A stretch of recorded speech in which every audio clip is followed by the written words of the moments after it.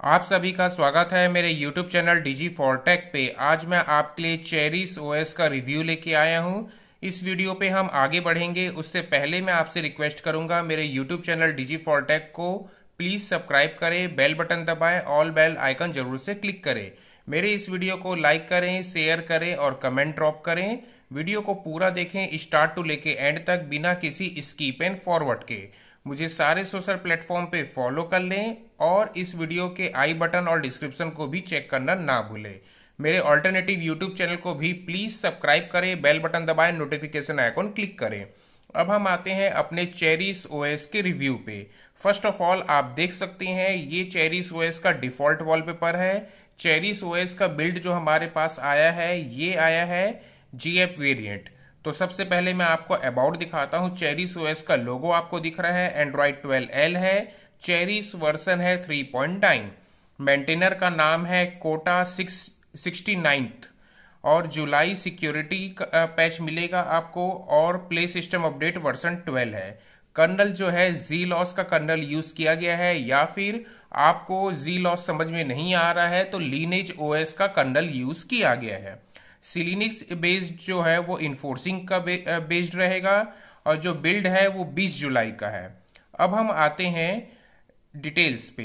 First of all physical navigation button light काम नहीं कर रहा है। लेफ़्ट साइड पे आपको गूगल पेज मिल जाएगा, क्योंकि जीएफ वेरिएंट है। स्वाइप डाउन करने से आपको एंड्रॉयड 12 क्यूब टाइल्स मिलेगा। एडिट पे जाके और ऐड कीजिए रीअरेंज कीजिए।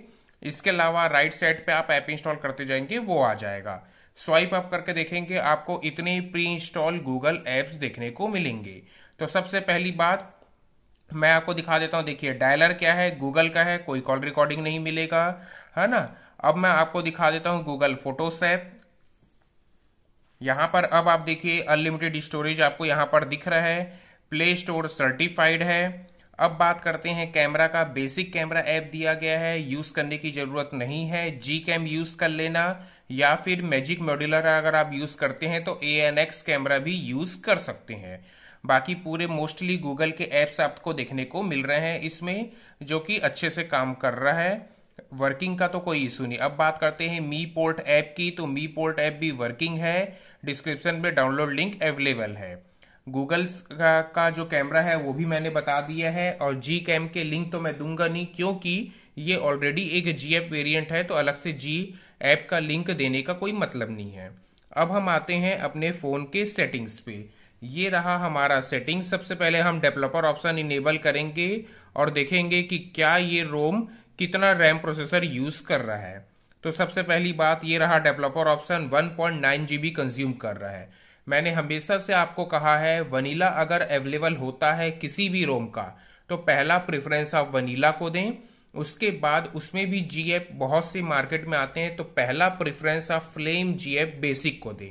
ऐसे कॉम्बिनेशन से आपका 1.5 1.6 जीबी यानी कि 50 55 परसेंट रैम पे आपका पूरा ऑपरेटिंग सिस्टम रेडी हो जाता है। तो जितना ज़्यादा आपको रैम प्रोसेसर फ्री मिलेगा, उतना ज़्यादा आपको स्मूथनेस मिलेगा, चलाने में लैग नहीं लगेगा हैंक नहीं लगेगा गेमिंग खेलने में भी मज़ा आएगा।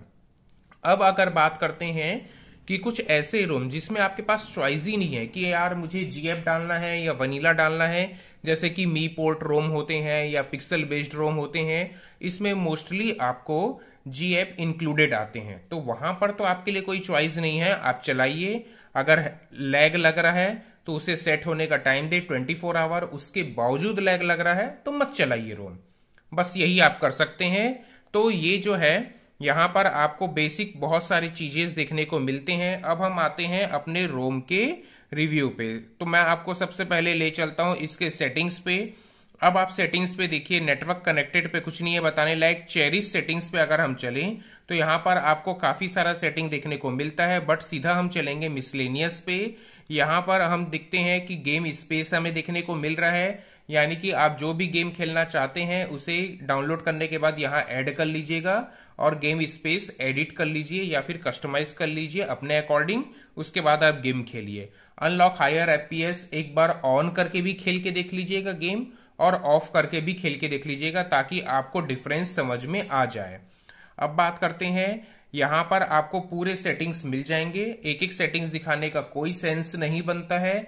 आपको जो सेटिंग करना है कैटेगरी बना हुआ है कैटेगरी पढ़िए और वो सेटिंग खोल के आप कर लीजिएगा। यहाँ से बाहर चला जाए डिस्प्ले कुछ नहीं है बताने लायक ऐप में भी कुछ नहीं है। मैंने बता दिया बैटरी की बात करें तो बैटरी बैकअप अच्छा है बट फिर भी आप अपने फ़ोन पे खुद जब इसे लोड करेंगे तो अपने अकॉर्डिंग चेक कर लीजिएगा। उसके बाद अपना रिव्यू बनाइए। कि इस रोम पे बैटरी कैसा मिल रहा है। मेरे मेरे रिव्यू पे, डिवाइस पे बैटरी बैकअप अच्छा मिला है इस रोम पे। आगे बढ़ते हैं। स्टोरेज की बात करें तो स्टोरेज डेफिनेटली 7.5 जीबी का ही कंज्यूम दिखेगा हमें थ्री जीबी पे। अगर आपके पास 4 जीबी डिवाइस है, तब आप यूज़ करेंगे तो आपको मिलेगा 8.5 जीबी का कंज्यूम। इससे आगे बढ़ा जाए अब बात करते हैं सिक्योरिटी पे। तो सिक्योरिटी पे आप देख सकते हैं फ़ोन का रोम नॉट इनक्रिप्टेड है।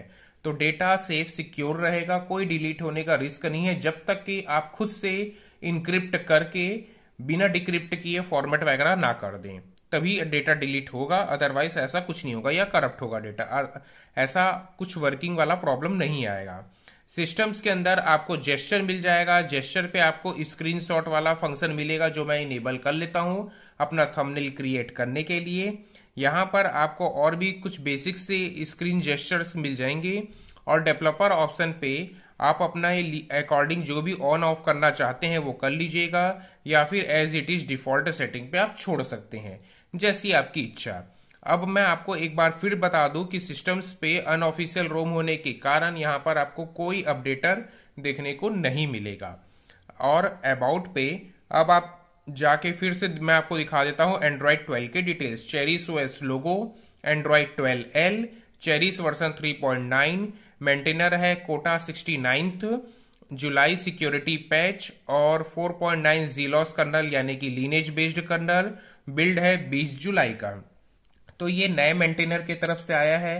काफ़ी दिनों बाद आया है चेरिस ओएस ज़्यादा लैग फील नहीं आया है मुझे। अगर आप यूज़ करना चाहते तो डेफिनेटली यूज़ कर लीजिएगा।